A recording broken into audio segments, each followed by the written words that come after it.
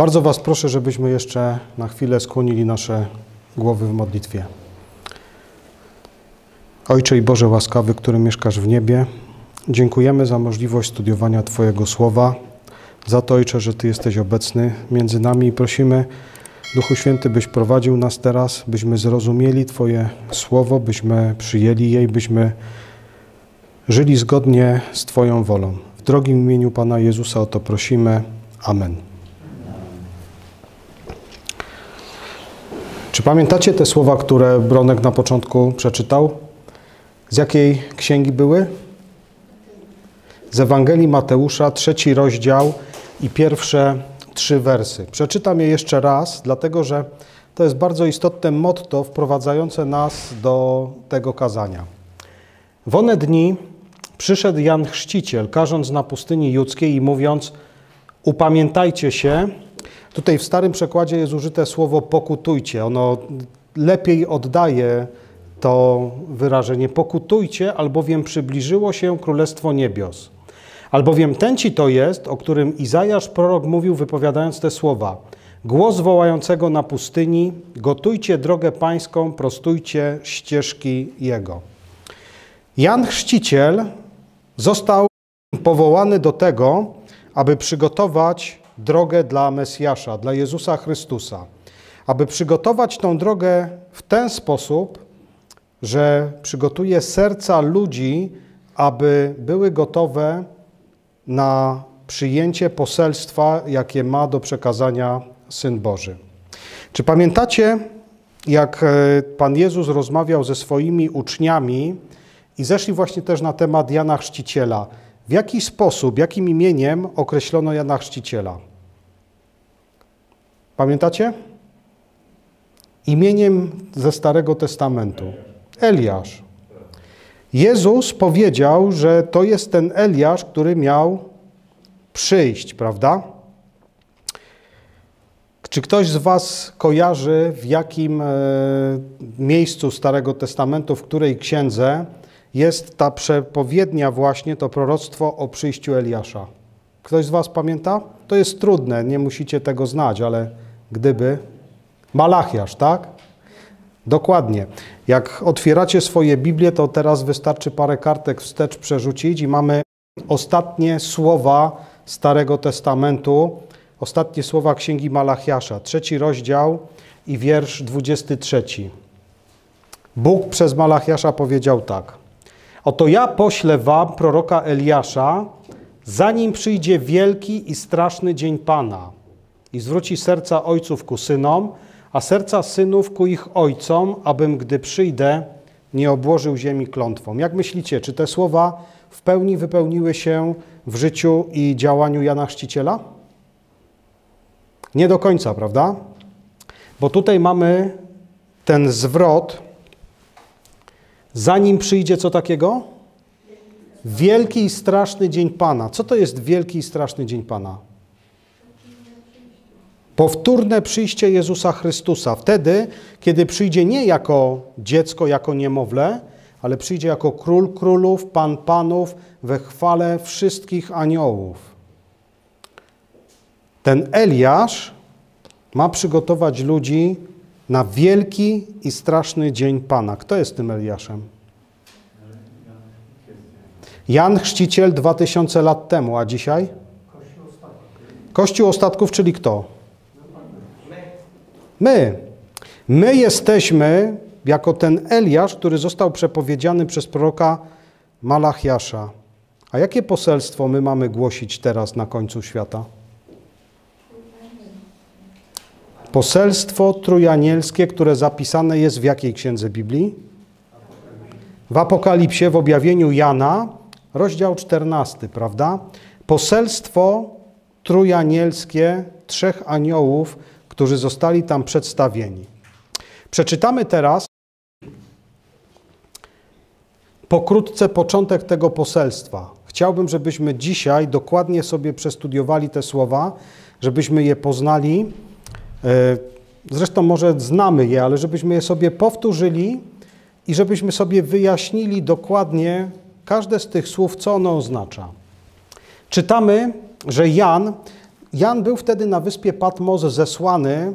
E, jako chrześcijanin został w latach 90. E, aresztowany podczas prześladowań, jakie miały miejsce w tamtym czasie i został zesłany na skalistą wyspę Patmos. Podobno, e, tak tradycja sprawozdaje, został skazany na karę śmierci przez wrzucenie do kotła z wrzącym olejem, ale przeżył tą egzekucję, a zgodnie z prawem rzymskim, jeżeli egzekucja była raz wykonana i się nie powiodła, nie wolno było jej wykonywać po raz drugi. Więc takiego niebezpiecznego przestępcę jak Jan nie można było wypuścić na wolność. Został więc e, zesłany na wyspę Patmos. Wyspa Patmos leży niedaleko wybrzeży dzisiejszej Turcji e, i bardzo blisko tak relatywnie do miasta Efes, gdzie e, apostoł Jan był starszym zboru i spędzał ostatnie lata swojego życia i stamtąd został właśnie aresztowany i zabrany. I kiedy zastanawiał się, co się dzieje z jego owieczkami, z jego braćmi, siostrami tam, którzy pozostali jeszcze w Efezie, w innych miastach Azji Mniejszej i nie tylko, gdzie szalały prześladowania, kiedy zastanawiał się nad tym, Pan Bóg objawił mu to, co ma stać się w przyszłości. I fragmentem tego objawienia Jana jest właśnie to poselstwo, które tutaj przekazują trzej aniołowie, a poselstwo, które jest do przekazania przez nas, przez lud Boży czasów końca. I czytamy tutaj początek poselstwa trójanielskiego. Jan widział innego anioła lecącego przez środek nieba, który miał Ewangelię wieczną, aby ją zwiastować mieszkańcom ziemi i wszystkim narodom i plemionom i językom i ludom, który mówił donośnym głosem: Bójcie się Boga i oddajcie mu chwałę, gdyż nadeszła godzina sądu Jego i oddajcie pokłon temu, który stworzył niebo i ziemię i morze i źródła wód. To jest wstęp tego poselstwa i słowo, które zostało wypowiedziane przez pierwszego anioła. Co oznaczają te słowa? Czytamy na początku, że Jan widział innego anioła. Kto to jest anioł? Posłaniec. To słowo z języka greckiego tłumaczy się dosłownie posłaniec. My jako aniołów uważamy te istoty pozaziemskie, prawda? Ale to słowo odnosi się nie tylko do tych e, istot pozaziemskich, ale do każdego, kto jest posłany. Apostoł Paweł, pisząc jeden ze swoich listów, pisał, że niektórzy aniołów gościli. To nie wiemy, czy miał na myśli faktycznie aniołów, którzy stąpili z nieba, czy miał na myśli takich posłańców, jakim był on, który szedł i niósł e, Słowo Boże, Słowo Ewangelii, prawda? Także Jan widział innego posłańca lecącego którędy? Przez środek nieba. Co to jest za miejsce środek nieba? Jak byście je określili? Najbardziej widoczne, centralne, prawda? Jak coś leci środkiem nieba, to każdy musi to widzieć. Dlaczego ten anioł leci środkiem nieba?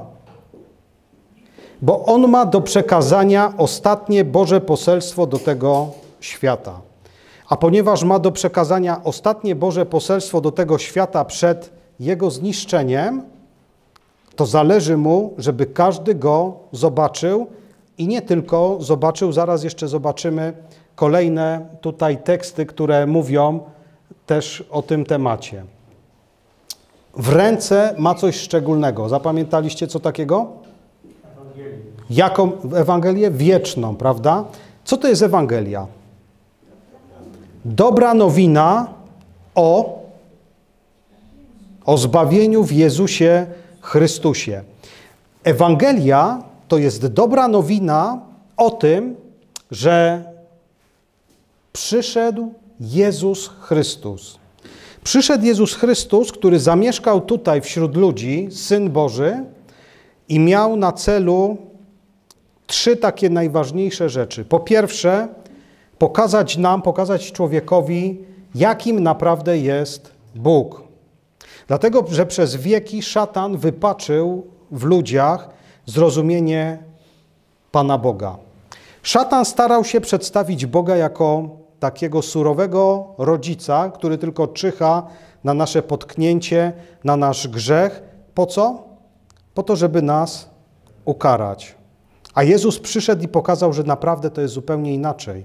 Że nasz Bóg, nasz Ojciec jest tym, który nas bardzo kocha i tak umiłował nas, umiłował ten świat, że zdecydował się na największe poświęcenie.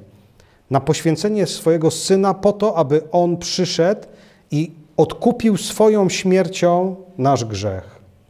Także Jezus przyszedł po to, żeby pokazać nam, jakiego mamy kochającego Ojca. Druga rzecz, Jezus przyszedł tutaj po to, żeby pokazać nam, jak my możemy żyć. A jak możemy żyć?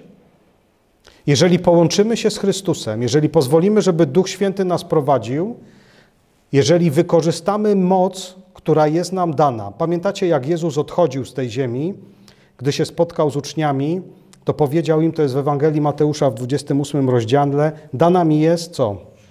Wszelka moc na niebie i na ziemi. Ale co by nas to obchodziło, że taka moc jest dana Jezusowi, gdyby nie fakt, że ta moc została Jezusowi dana po to, żeby nam dał ją do wykorzystania. Ta moc jest dana nam, abyśmy my oparli się pokusom, abyśmy mając Chrystusa w swoim sercu, gdy Go zapraszamy do naszego serca, żyli uczciwie i pobożnie. Tak jak apostoł Paweł w jednym z listów swoich napisał takie pytanie do adresatów. Zapytał ich, czy sprzeciwiliście się grzechowi aż do krwi? Czy walczycie z grzechem, z pokusą tak poważnie, jakbyście walczyli o swoje tutaj doczesne życie? Chrystus pokazał nam, jak my możemy żyć. Jeżeli przyjmujemy Go do swojego serca, jeżeli poważnie podchodzimy do tego, co On chce nam dać, to Chrystus uwolni nas od grzechu.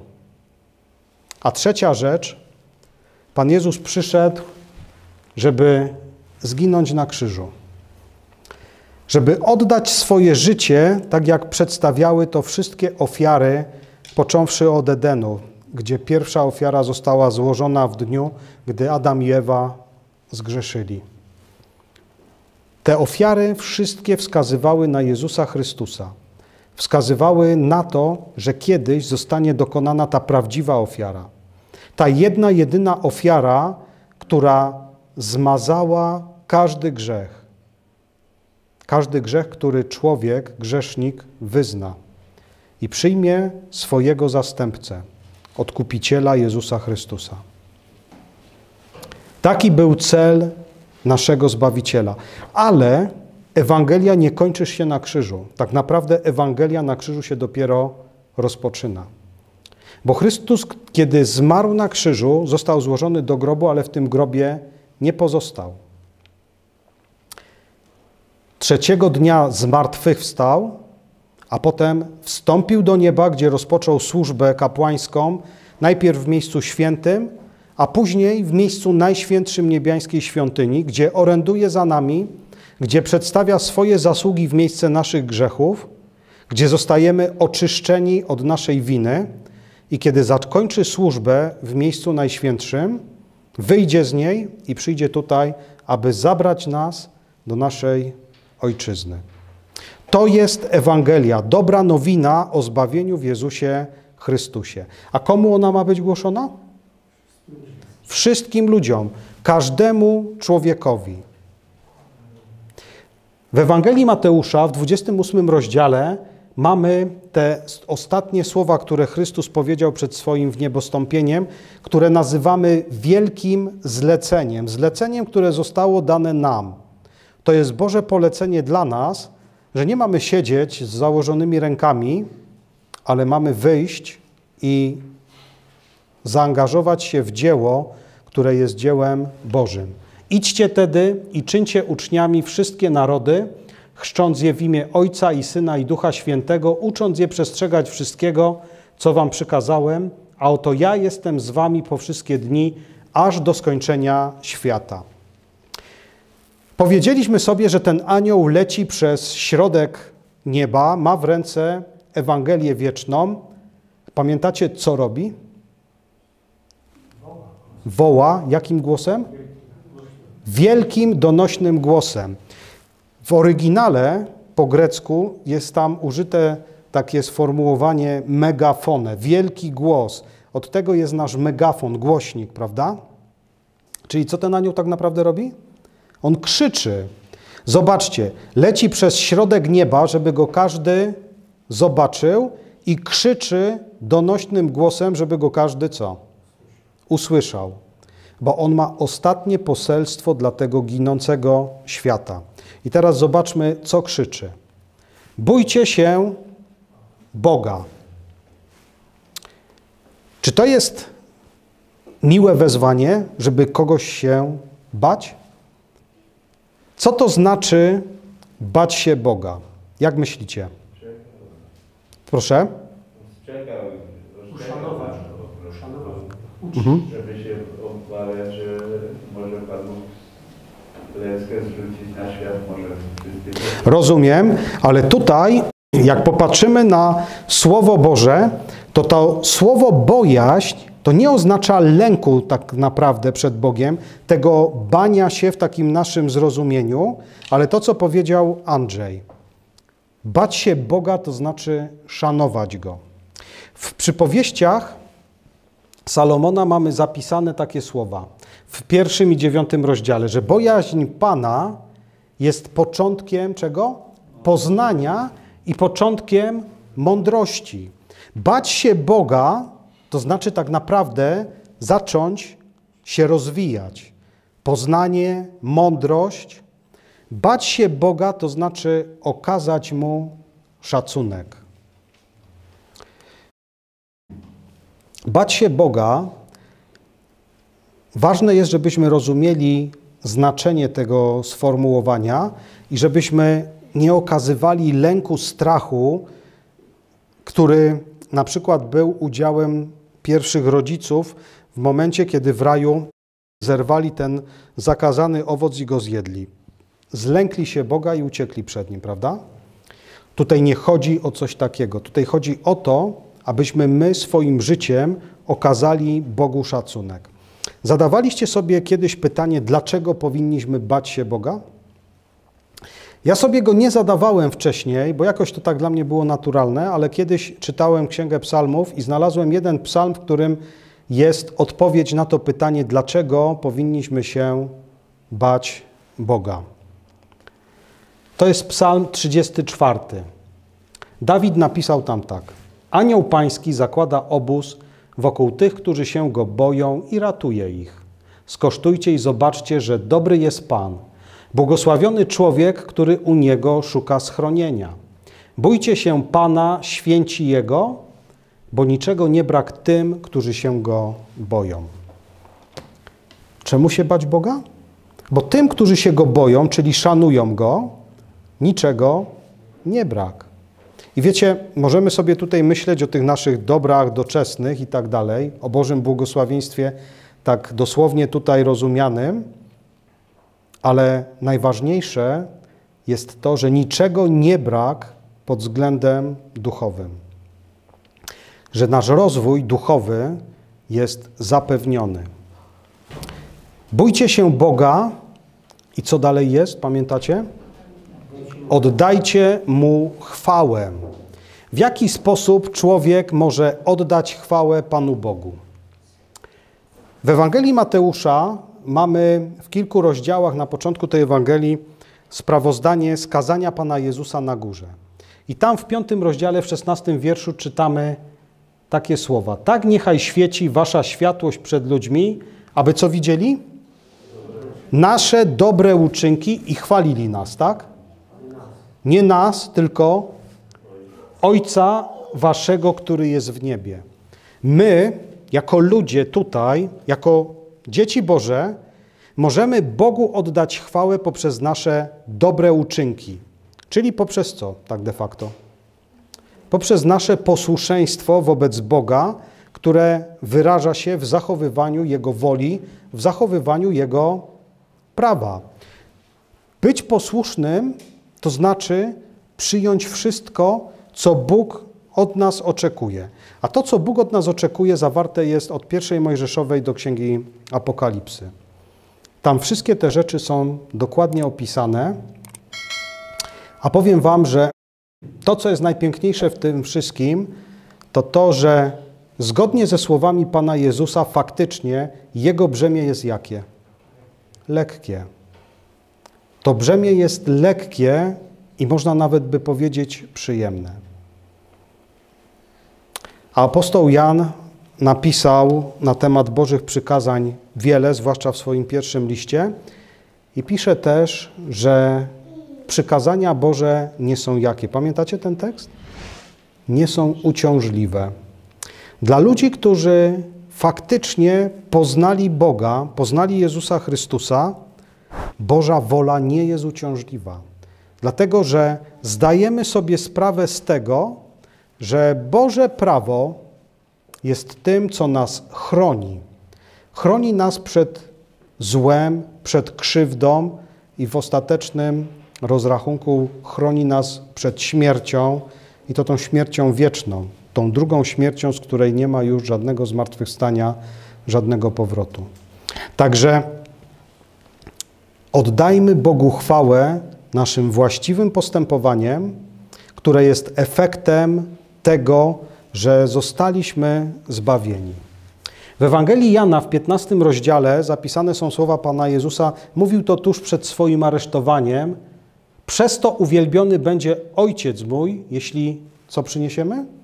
Obfity owoc wydacie i staniecie się moimi uczniami, a owoc życia to są nasze uczynki. Piękne słowa napisał apostoł Paweł w liście do Efezjan w drugim rozdziale. On tutaj pokazuje to wszystko, na czym to polega. Ja pamiętam, że kiedyś, jak zrozumiałem te słowa z, Ewangel- z listu Pawła do Efezjan z drugiego rozdziału, to zrozumiałem, na czym tak naprawdę polega zbawienie. Kiedyś e, za dawnych czasów były takie dowcipy na temat milicjantów za komuny, że mieli szkolenie, jak mieli sadzić drzewa, i szkolenie polegało na tym, że się im mówiło, że zielonym trzeba do góry, prawda? I jak kiedyś przeczytałem na temat właśnie zbawienia z łaski przez wiarę, to zrozumiałem, że czasami też tak myślałem e, w ten sposób, że efekt był taki, że zielone dawałem do ziemi, a nie do góry. Bo czasami jest taka pokusa, żeby pomyśleć, że jak my będziemy dobrze czynić, to wtedy będziemy zbawieni, prawda? A tak naprawdę Biblia pokazuje, że to jest zupełnie odwrotnie. Kiedy my jesteśmy zbawieni, kiedy przyjęliśmy Chrystusa, przyjęliśmy Jego łaskę, to potem efektem tego są nasze dobre uczynki. My sami z siebie, jako ludzie grzeszni, nie jesteśmy w stanie zrobić nic dobrego. Dopiero kiedy przyjmujemy Chrystusa do naszego serca, kiedy przyjmujemy zbawienie, jakie On nam ofiarował, kiedy jesteśmy odziani tą szatą Jego sprawiedliwości, wtedy jesteśmy zdolni do oddania Bogu chwały naszym dobrym, uczciwym życiem. Paweł napisał do Efezjan tak: Albowiem łaską zbawieni jesteście przez wiarę, i to nie z Was. Boży to dar, nie z uczynków, aby się kto nie chlubił. Albowiem czynem Jego jesteśmy stworzeni w Chrystusie Jezusie ku uczynkom dobrym, które przedtem Bóg zgotował, abyśmy w nich chodzili. Znacie księgę Jeremiasza, prawda? Tam jest taki fragment, tylko nie pamiętam, czy to jest 18 czy 20 rozdział. Jest tam taki fragment, kiedy Bóg powiedział do Jeremiasza, że ma pójść do domu garncarza i przyjrzeć się tej robocie, którą on wykonuje na kole garncarskim. Jeremiasz przyszedł do domu garncarza, wszedł i zaczął się patrzeć na tego garncarza, na jego ręce. A garncarz lepił garnek.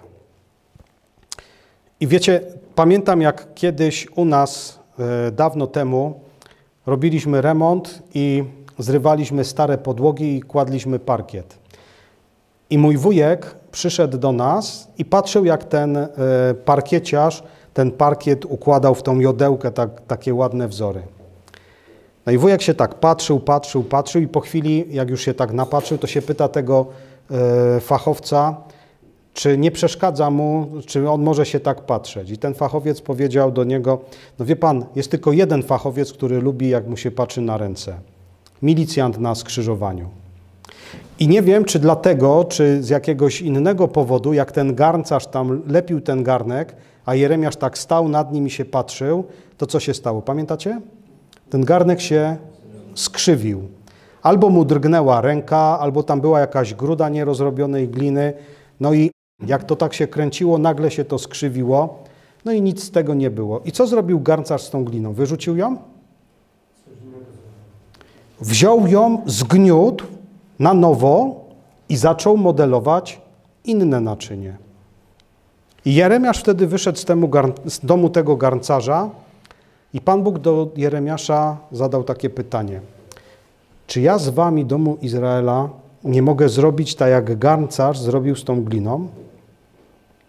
To jest Boże marzenie, żeby wziąć tą glinę, z której my jesteśmy ulepieni, zgnieść i ukształtować nas na nowo, na Boży obraz i na Boże podobieństwo.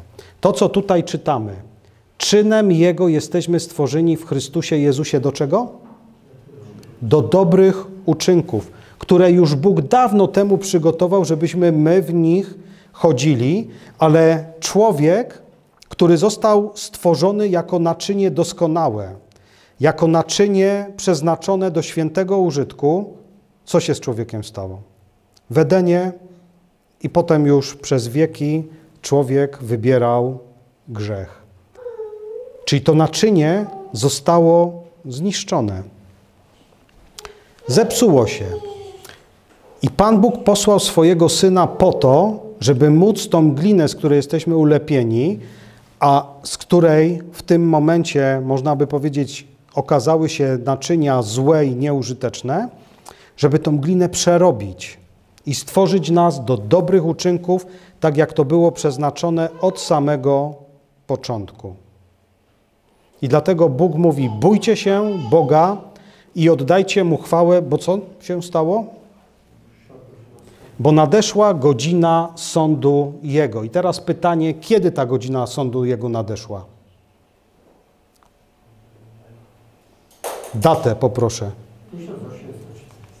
1844, a dokładnie? W październiku, a jeszcze dokładniej? 22 października 1844 roku. Wtedy wypadało święto Jom Kippur, czyli Dzień Sądu. I wtedy, zgodnie z proroctwem z Księgi Daniela o 2300 wieczorach i porankach, zakończył się właśnie ten okres 2300 wieczorów i poranków i rozpoczął się proces oczyszczenia świątyni, świątyni, która jest w niebie, gdzie naszym arcykapłanem, który wstawia się za nami, jest Jezus Chrystus. Za szybko to powiedziałem, bo teraz mam pytania, gdzie? No to już odpowiedziałem sam sobie na to pytanie. W świątyni niebiańskiej Chrystus jest naszym arcykapłanem, jest naszym obrońcą, tym, który wstawia się za nami, mówiąc, że to, co my złego zrobiliśmy, On przejmuje na siebie. Natomiast to, co On zrobił dobrego, przypisuje nam.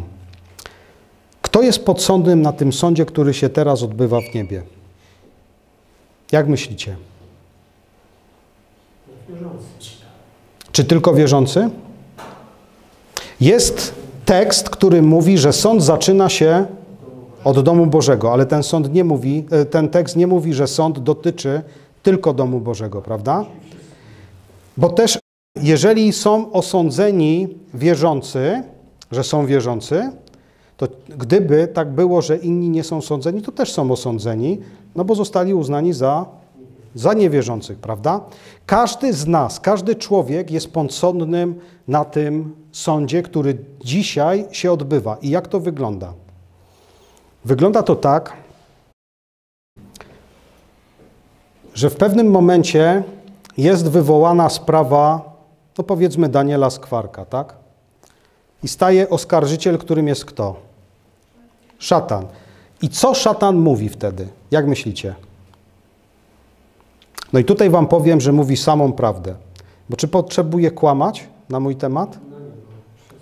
Wy możecie sobie pomyśleć o sobie samych, prawda? Ja wam się przyznaję, że na mój temat nie musiałby w ogóle kłamać, żeby dostać wyrok skazujący na karę śmierci i może nawet niejednokrotną. I teraz bardzo ważne jest to, co się stanie potem. Nie wiem, czy mieliście okazję oglądać w internecie taki filmik. Ja go wiele lat temu znalazłem.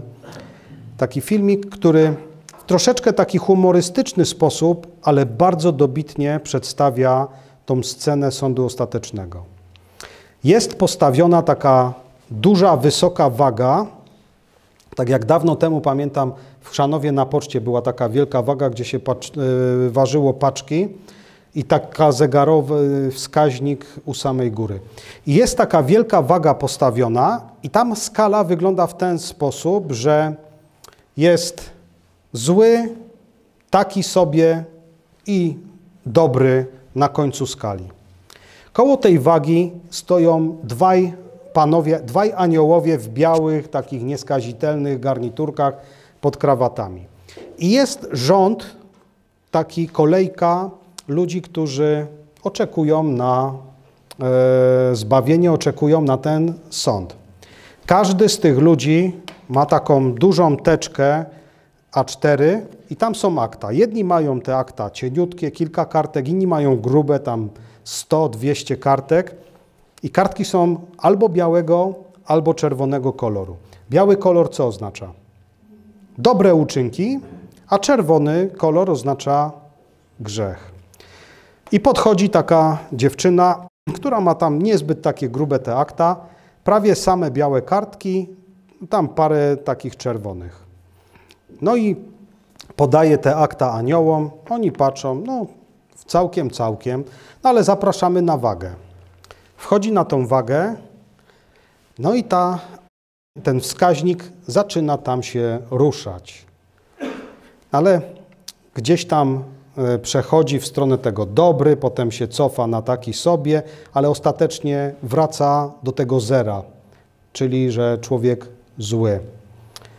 Aniołowie z takim ubolewaniem oddają jej akta, no i proszą, żeby przeszła dalej. A ona mówi, ale ja nic takiego złego nie zrobiłam, ja tam tylko ściągałam na egzaminie i tak dalej. No ale aniołowie nie mogą dyskutować. Efekt ważenia jest taki, zapraszają. Ona przechodzi, podchodzi następny człowiek. Nie będę wam tego wszystkiego opowiadał, ale jeden z nich miał takie grube akta, prawie wszystko białe tylko parę karteczek tam na końcu takich czerwonych. I przychodzi taki zadowolony z siebie, taki dumny, bo tak, jeździł do Afryki kopać studnie dla ludzi potrzebujących, angażował się w działania charytatywne i tak dalej, i tak dalej. No i ci aniołowie, jak tak patrzą na te akta, to tak kiwają z uznaniem głową, no naprawdę dużo dobrego ten człowiek zrobił. No ale tam na końcu są te czerwone kartki, dwie albo trzy. Zapraszają go na tą wagę.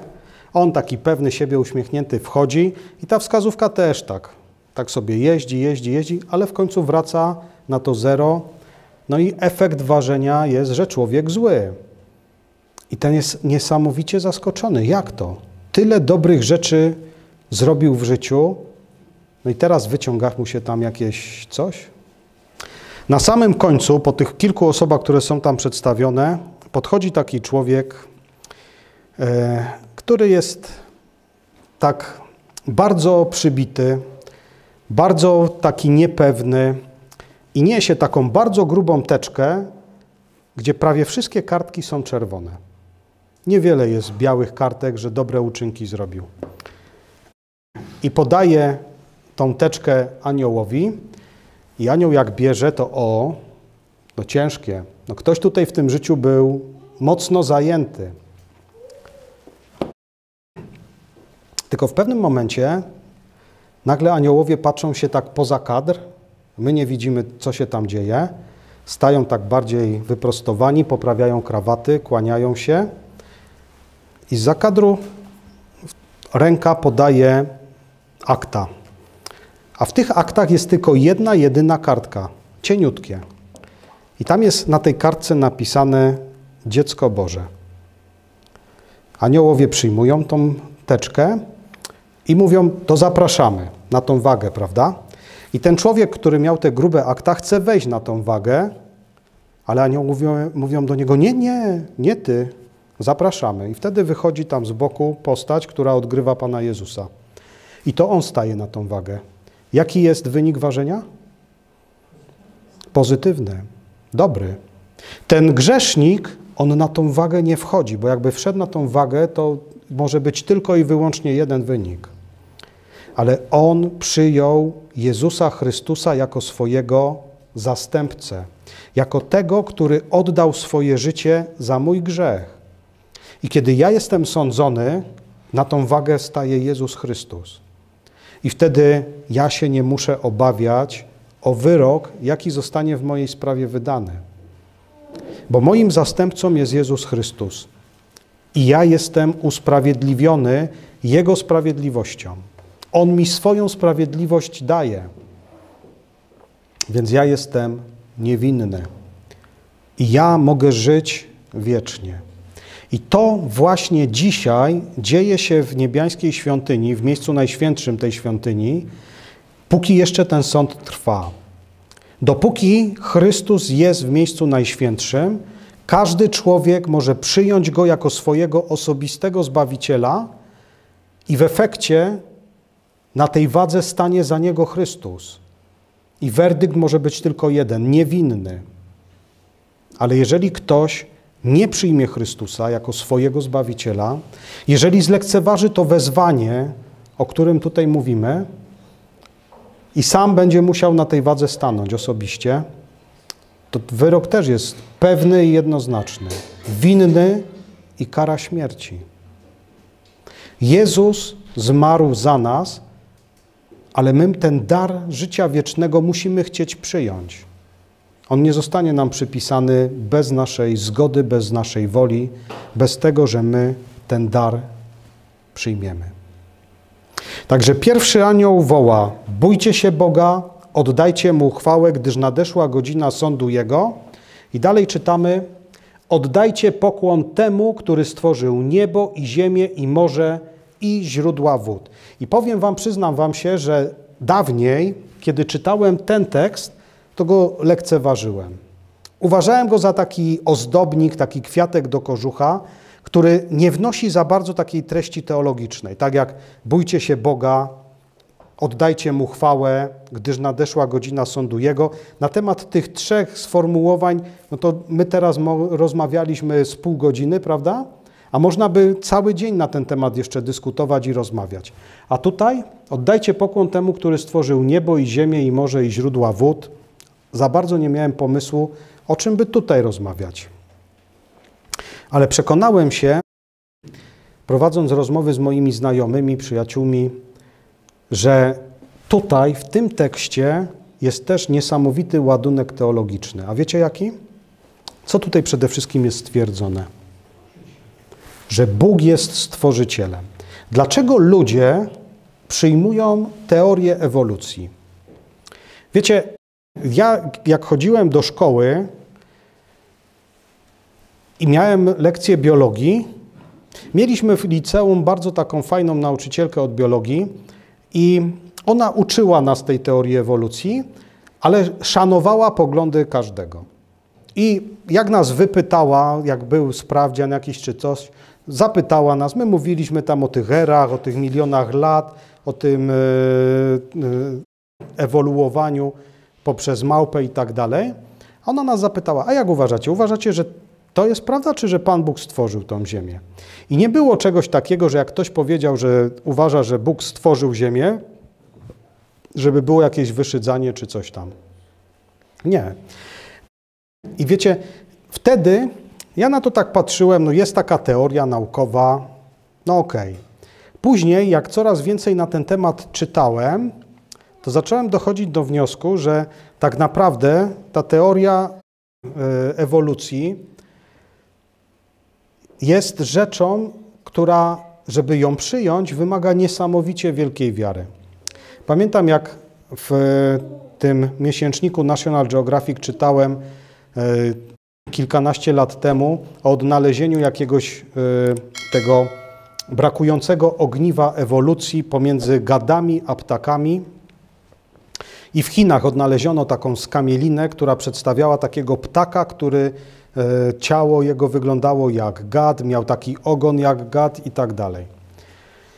No, przeczytałem to z zainteresowaniem, a tym bardziej z zainteresowaniem pół roku później przeczytałem w tym samym miesięczniku artykuł, w którym się niesamowicie kajali, jak dali się podpuścić, bo się okazało, że ta skamielina taka odnaleziona, niesamowita i tak dalej, jest fałszerstwem.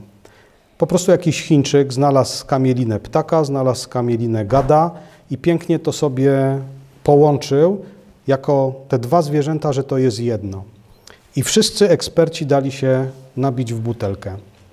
Ale wiecie, fakt jest taki, że jak się znajduje jakieś brakujące ogniwo, to wtedy jest coraz gorzej z tą teorią ewolucji, bo zaczyna brakować dwóch. Bo tak jak mieliśmy A i C, to brakowało nam tylko B. A jak mamy A, B i C, to tutaj zaczyna pomiędzy A i B brakować i pomiędzy B i C brakować. Naprawdę trzeba mieć niesamowitą wiarę, żeby w ewolucję wierzyć. Natomiast jeżeli chodzi o stworzenie świata, stworzenie przez Stwórcę, przez Boga, dla mnie to jest o wiele prostsze do przyjęcia. Dlaczego ludzie wolą uważać, że pochodzą od małpy? Jak myślicie? Czy to nie jest nobilitujące dla człowieka powiedzieć, że uczynił nas Bóg swoimi własnymi rękami?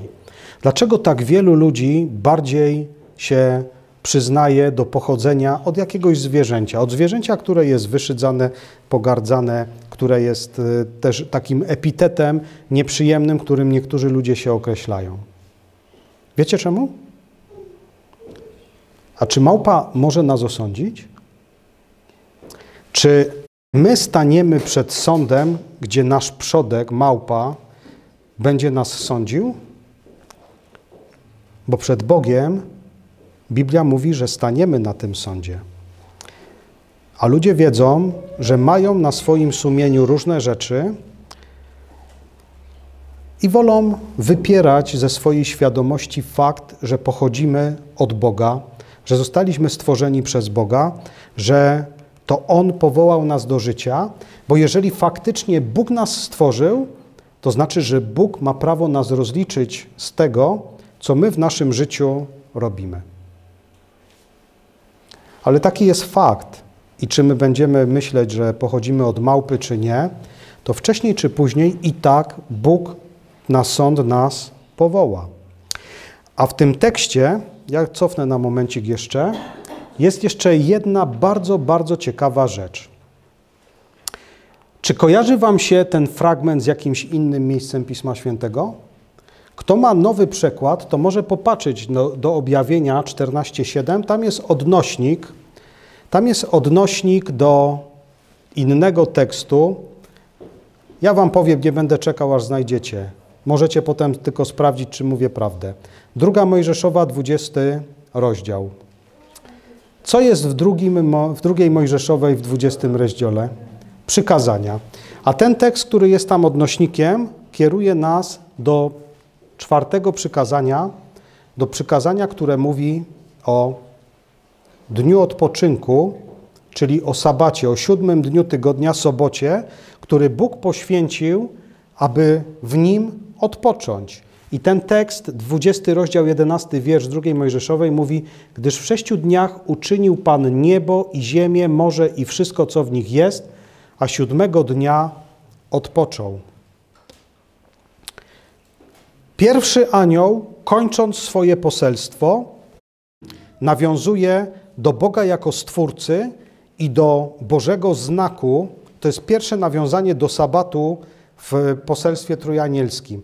Nawiązuje do Bożego znaku, jakim jest sabat. Tyle na temat poselstwa pierwszego anioła, ale chciałbym jeszcze przeczytać komentarz z książki Doświadczenia i Widzenia komentarz, który na temat poselstwa pierwszego anioła został tam zapisany. Jego celem było obudzenie ludu i doprowadzenie go do punktu próby, w którym ma się opowiedzieć za lub przeciwko prawdzie. Zgodnie z tym, jak patrzymy na historię świata, poselstwo pierwszego anioła zaczęło być głoszone na początku lat 40. XIX wieku. To poselstwo, aby bać się Boga, aby go szanować, aby oddać mu chwałę poprzez powrót do jego woli, do jego przykazań, gdyż nadeszła godzina sądu jego, a ona nadeszła, tak jak mówiliśmy, w 1844 roku. Wtedy to poselstwo zaczęło być głoszone, i tutaj jest bardzo istotna kwestia. Obudzenie ludu, żeby człowiek zrozumiał, w jakim czasie żyje, ale też doprowadzenie go do punktu próby, w którym opowie się po jednej albo po drugiej stronie. Albo boję się Boga, albo boję się mojej rodziny, boję się moich braci, sióstr w kościele, w którym jestem. Jedno albo drugie. Trzeba wybrać. Z historii wiemy, że ruch adwentowy, który wtedy się rozwijał już od kilkunastu lat, w pewnym momencie doszedł do takiego momentu próby, że e, kościoły, do których należeli formalnie członkowie tego ruchu adwentowego, zaczęły tych, którzy oczekiwali powrotu Chrystusa, wyłączać ze swoich szeregów. Niektórzy wtedy porzucili tą prawdę, żeby pozostać w swoich kościołach, ale inni stwierdzili, że jednak ważniejsze jest się opowiedzieć po stronie Boga, ważniejsze jest się opowiedzieć po stronie prawdy. Dzisiaj może to nie jest tak bardzo dramatyczne jak wtedy, na taką skalę jak wtedy w tamtym czasie, ale dzisiaj dokładnie to samo przeżywa każdy człowiek, kto zaczyna, który zaczyna studiować Słowo Boże i odkrywać Boże prawdy, które w Piśmie Świętym są. Czy pozostać na tych pozycjach, na których jest, czy przyjąć prawdę i te pozycje zmienić. I dalej czytając 14 rozdział Księgi Objawienia, widzimy, że do tego pierwszego anioła, który krzyczy, dołącza się drugi. To nie jest tak, że pierwszy skończył swoje poselstwo i zaczyna drugi, ale pierwszy cały czas kontynuuje, a do niego dołącza się drugi anioł, który dokłada kolejną treść poselstwa. I ten drugi anioł to swoje poselstwo ma bardzo zwięzłe i krótkie. Co on mówi? Po prostu w dwóch słowach można to streścić. Upadł Babilon. Upadł Babilon i czytamy tutaj ten tekst, drugi anioł szedł za nim i mówił: Upadł, upadł wielki Babilon, który napoił wszystkie narody winem szaleńczej rozpusty. Co to jest Babilon? Bo tutaj musimy sobie ten symbol wyjaśnić. Kiedy ziemię zalały wody potopu, przeżyło tylko ośmioro ludzi. I kiedy oni wyszli z arki, Pan Bóg dał im polecenie, aby rozradzali się, rozmnażali, napełniali ziemię, żeby się na tej ziemi rozpraszali. Ale potomkowie Noego i jego synów po pewnym czasie stwierdzili, że oni nie chcą się rozproszyć, oni chcą być razem. I zaczęli budować miasto i w tym mieście wysoką wieżę, które miało być ich symbolem i miało być miejscem, które będzie ich wszystkich trzymało razem. I Pan Bóg, kiedy to zobaczył, to znamy tą historię. Dzieci na religii się tej historii uczą. E, Pan Bóg postanowił pomieszać im języki, żeby nie mogli się porozumieć i w ten sposób wymusić, aby rozproszyli się po całej ziemi. Ta wieża była nazwana Babel i znajdowała się w mieście, które później zaczęto nazywać Babilon, które stało się stolicą potężnego imperium, ale stało się też symbolem tego, jak miesza się prawdę z kłamstwem, w jaki sposób prawdziwa religia może być pomieszana z fałszywymi kultami.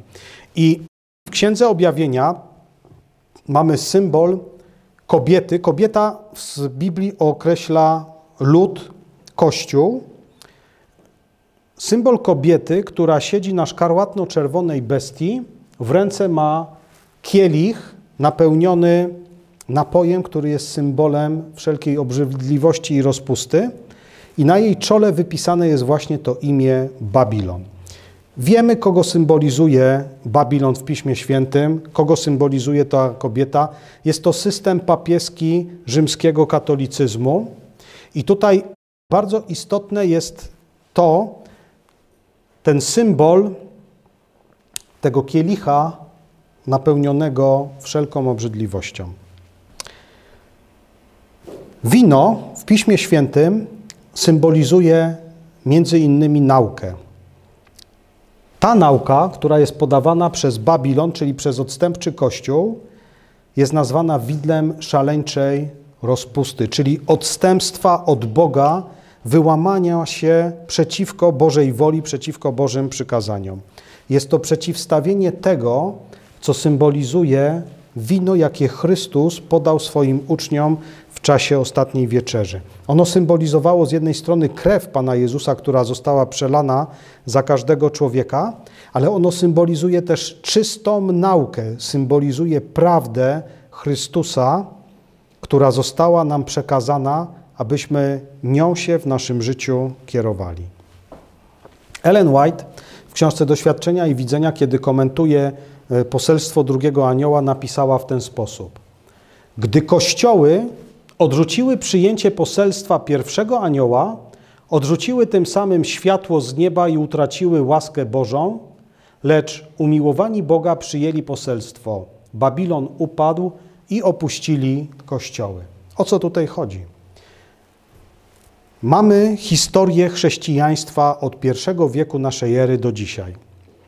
Pamiętam, jak kiedyś słuchałem brata Władysława Poloka, jak on przedstawiał to na wykresie, kiedy przedstawiał, że pierwszy wiek to była formacja tego chrześcijaństwa, po prostu ustalenie tych wszystkich ram, przede wszystkim przez Pana Jezusa. Ale potem zaczęła się deformacja, czyli niszczenie tego, co zostało e, uczynione. Aż do wieku tam XIII, XIV, XV, kiedy zaczęła się reformacja, która w XVI wieku za czasów Lutra przybrała najbardziej takie y, znaczące rozmiary. Reformacja, czyli odbudowywanie krok po kroku tego, co zostało zdeformowane przez wieki średniowiecza. Powracanie, odkrywanie na nowo tych nauk biblijnych, które przez średniowiecze zostały stłamszone i zapomniane przez większość chrześcijan. I teraz, kiedy popatrzymy na kościoły protestanckie, to możemy zobaczyć, że ta reformacja wyglądała w ten sposób, że pojawił się jakiś reformator, który odkrył którąś z zapomnianych prawd biblijnych. Wielu ludzi ucieszyło się i poszło za nim i utworzyli kościół. Ale ich potomkowie, no tak brzydko mówiąc, skostnieli i byli zadowoleni tylko z tego, że odkryli ten jeden punkt, a jak ktoś szukał dalej w Piśmie Świętym i znajdował coś nowego, to często nawet przez protestantów był prześladowany, jak na przykład anabaptyści, którzy według Pisma Świętego zrozumieli, że chrzest powinien być dokonywany w wieku świadomym przez zanurzenie. Byli prześladowani zarówno przez katolików, jak i przez główny nurt protestantyzmu kilkaset lat temu. I teraz to, co mówi drugi anioł, to to, że Babilon upadł i nie można w tym Babilonie pozostawać. A ten Babilon to jest każde, każde miejsce, gdzie nie przyjmuje się pełnej Bożej prawdy. Bo Babilon to jest symbol pomieszania prawdy i fałszu. I Babilon należy opuścić. I do dwóch aniołów dołącza się w końcu trzeci. I trzeci anioł szedł za nimi, mówiąc: Znowu mamy to stwierdzenie donośnym głosem. I nie dość, że mówi donośnie, to jeszcze jak za chwilę przeczytamy mówi już bardzo otwarcie, nie owija w bawełnę, bo to jest ostatnia część ostatniego poselstwa Boga do tego ginącego światu. Przeczytajmy jednak, co w doświadczeniach i widzeniach zostało napisane na temat poselstwa trzeciego anioła.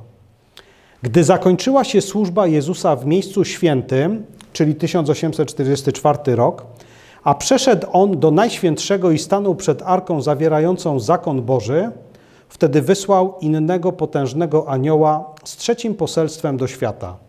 Anioł ten otrzymał do ręki pergamin i stąpił na ziemię, aby w mocy i w majestacie nieba głosić straszne ostrzeżenie wraz z okropną groźbą, jaka kiedykolwiek była dana ludziom.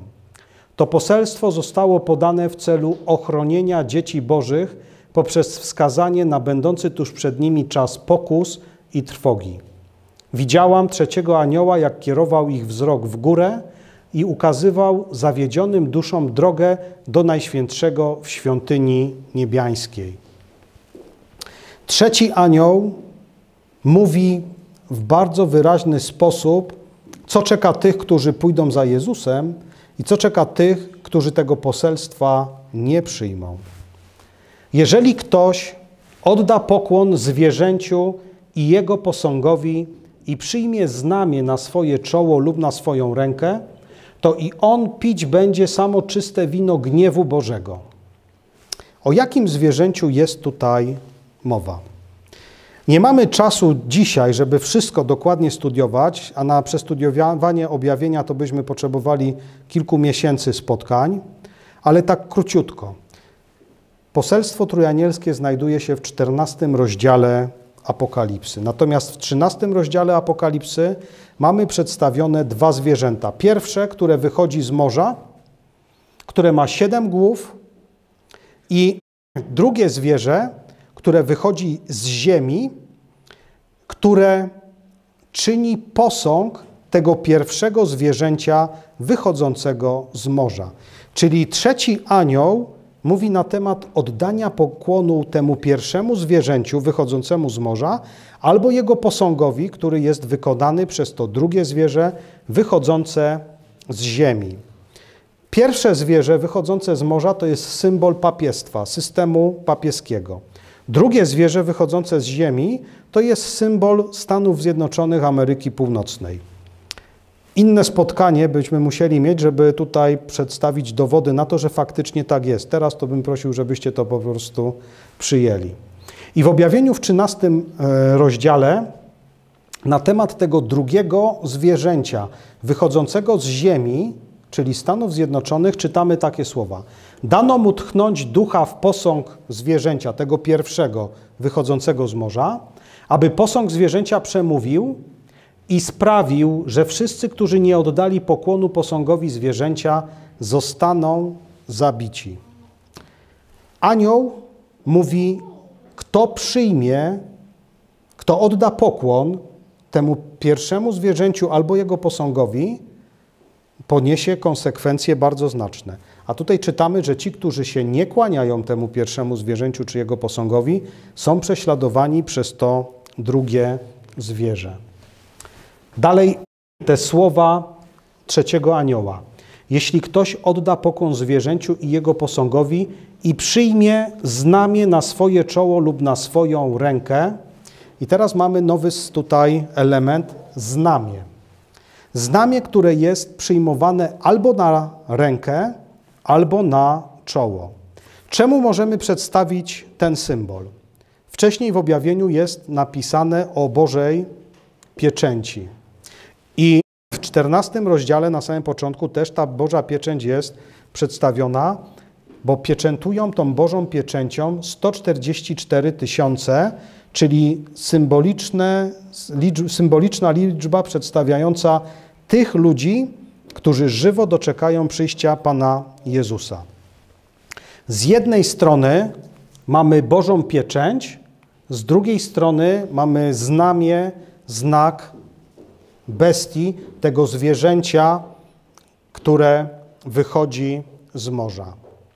Co się stanie w momencie, kiedy my przyjmiemy znamię bestii?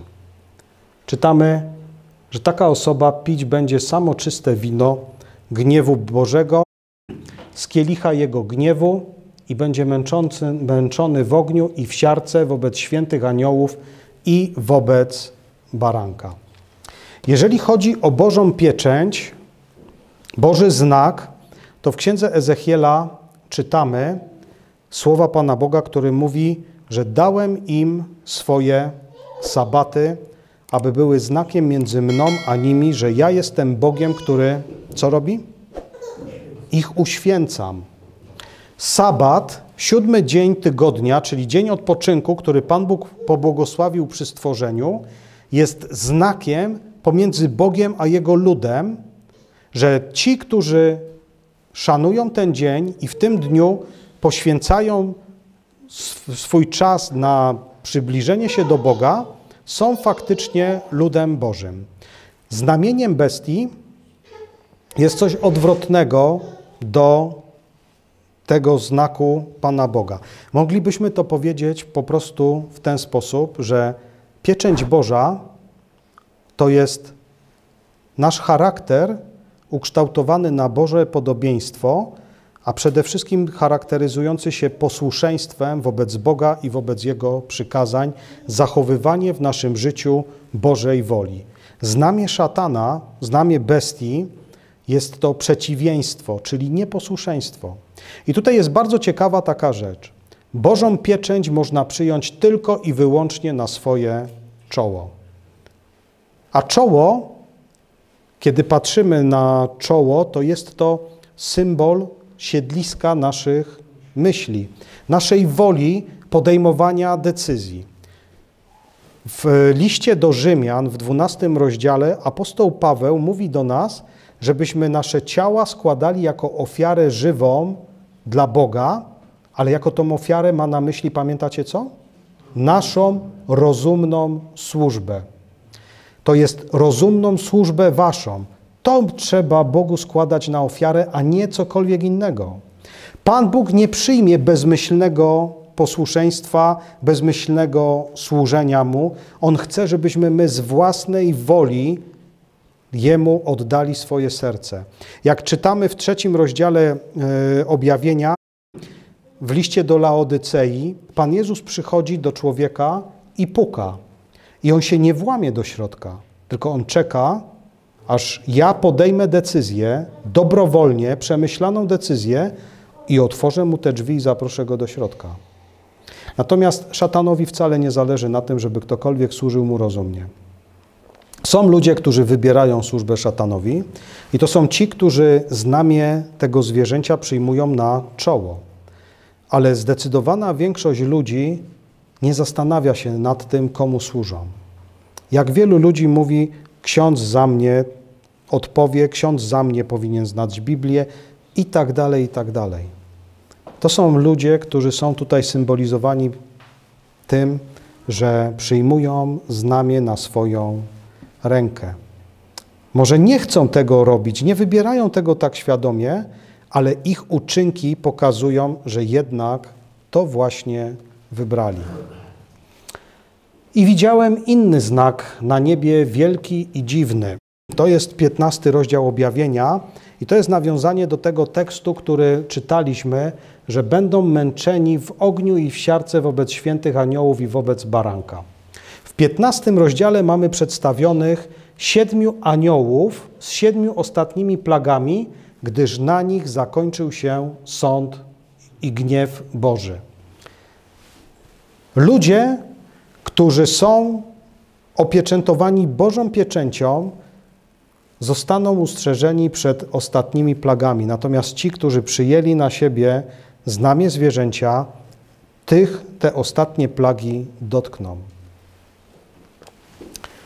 A dym ich męki unosi się w górę na wieki wieków i nie mają wytchnienia we dnie i w nocy ci, którzy oddają pokłon zwierzęciu i jego posągowi, ani nikt, kto przyjmuje znamie jego imienia. W liście Judy jest takie sformułowanie o przykładzie ognia wiecznego. Tym przykładem ognia wiecznego jest Sodoma i Gomora. To nie znaczy, że on się na zawsze będzie palił, ale jego skutki są wieczne.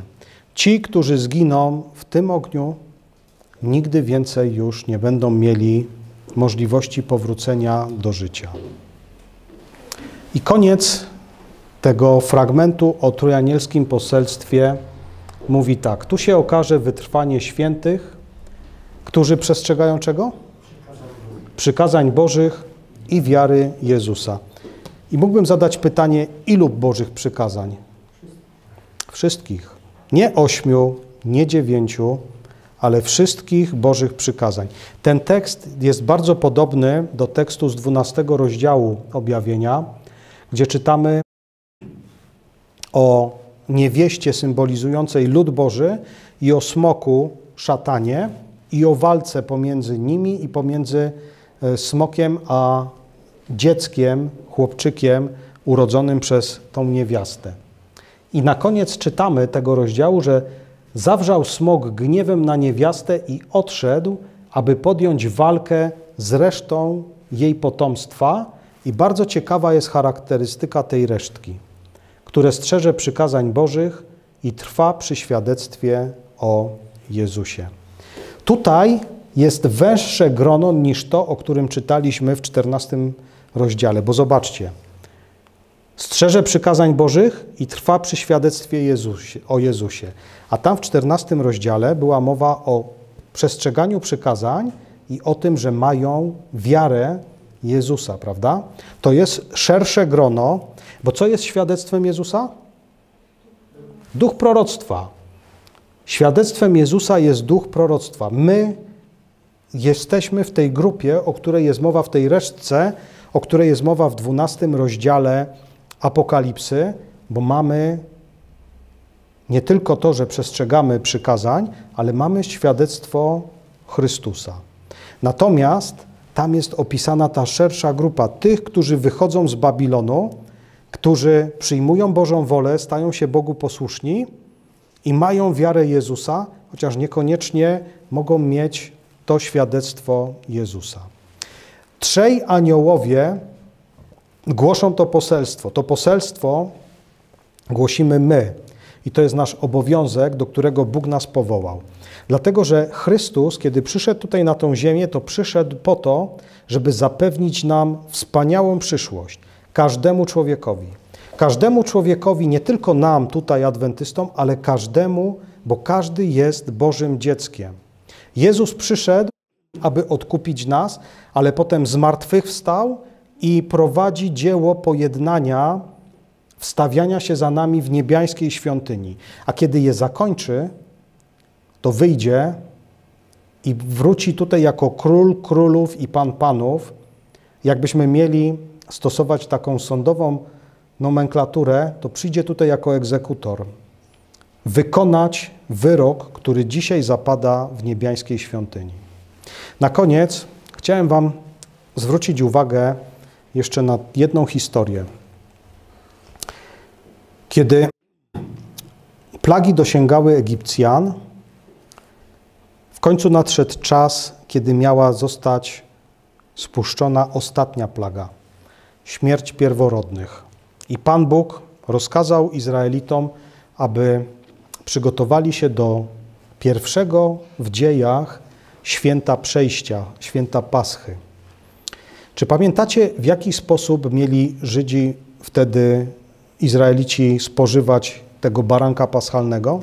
Kiedy my siadamy do kolacji, to bardzo często jesteśmy już przygotowani do spania, prawda? W piżamce, w szlafroku, w kapciach i tak dalej. A jak Izraelici wtedy w Egipcie mieli go spożywać? Buty na nogach, pas na biodrach, a w ręce co? Laska.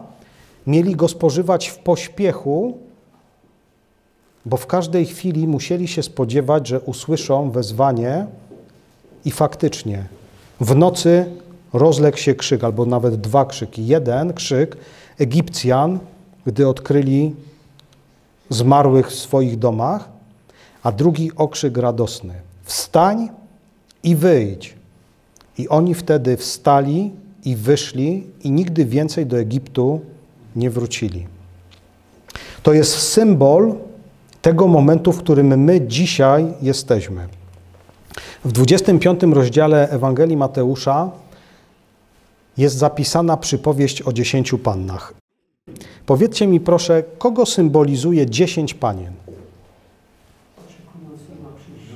Oczekujących na przyjście Chrystusa, czyli jednym słowem mówiąc, nas, adwentystów, prawda? Adwentyści no to jest słowo oznaczające oczekujących na przyjście Chrystusa. Dziesięć panien to są adwentyści. To nie jest tak, że pięć jest e, symbolizujących adwentystów, a pięć ludzi ze świata. Wszystkie dziesięć panien czeka na przyjście Jezusa. Ile z nich ma Biblię? Wszystkie, bo lampa symbolizuje Pismo Święte. Ile z nich ma Ducha Świętego? Też wszystkie, bo wszystkim te lampy świecą. Niektórym, co prawda, do pewnego czasu i zaczynają przygasać. Apostoł Paweł w jednym z listów napisał, że każdy z nas przy chrzcie otrzymuje zadatek Ducha Świętego, prawda? I ta lampa płonie, ale w pewnym momencie tej oliwy zaczyna brakować. I zobaczcie, wszystkie dziesięć panien się posnęło, uśpiły się i wszystkim dziesięciu te e, lampy zaczęły przygasać, ale kiedy usłyszały krzyk o północy, że idzie oblubieniec, wstały wszystkie, zaczęły oporządzać swoje lampy i okazało się, że pięć ma zapas oleju, a pięć zapasu oleju nie ma. Ten zapas oleju, wiecie co to jest? Ja jestem przekonany, że tutaj jest mowa o późnym deszczu. Pięć z tych panien nie przegapiło czasu późnego deszczu, wylania Ducha Świętego, a pięć przegapiło. I te pięć, które przegapiło, zaczęło biegać i szukać, skąd by tego oleju, tego Ducha Świętego znaleźć. I potem jest dziesiąty wiersz 25 rozdziału Ewangelii Mateusza i tam jest napisane, jakie panny weszły na wesele. Wiecie jakie? Andrzej dobrze powiedział. Gotowe. One są nazwane mądrymi pannami, w przeciwieństwie do tamtych, które są nazwane głupimi, ale to jest niesamowite słowo, takie króciutkie słowo, które niesie w sobie niesamowitą treść.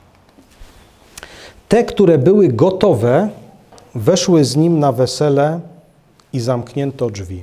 Ile panien się przygotowywało? Wszystkie. Widzicie, jaka tutaj jest tragedia? Całe życie się przygotowywać, całe życie czekać na przyjście Pana Jezusa, całe życie powstrzymywać się od pewnych rzeczy i tak dalej, i tak dalej. A potem, kiedy przychodzą pod drzwi, pukają, Jezus wychodzi i wiecie, co słyszą od Niego? Ja was nie znam. To jest niesamowita tragedia. A jaka różnica? Pięć było gotowych, a pięć się cały czas przygotowywało. To znaczy, że my musimy przestać się przygotowywać. My musimy te przygotowania zakończyć i trwać w gotowości. Bo jeżeli nie, to będzie potem źle. Bóg wzywa nas, abyśmy byli Mu posłuszni, abyśmy Go przyjęli całym naszym sercem i byśmy razem z Nim pracowali dla zbawienia innych ludzi. I On daje nam wszystko, co jest nam do tego, abyśmy to wykonali potrzebne. My tylko musimy przyjąć te Boże dary i trwać w gotowości na spotkanie z naszym Zbawicielem Jezusem Chrystusem, który już niedługo po nas przyjdzie. Amen.